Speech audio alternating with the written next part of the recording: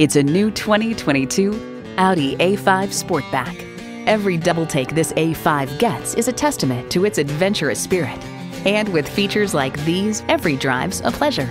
Streaming audio, front heated leather bucket seats, inductive device charging, express open and close sliding and tilting sunroof, intercooled turbo inline four-cylinder engine, four-wheel drive, external memory control, dual zone climate control, automatic with driver control suspension management, auto dimming rear view mirror, and auto shift manual transmission. Revolutionary engineering, progressive design, Audi. The time is now. See it for yourself today.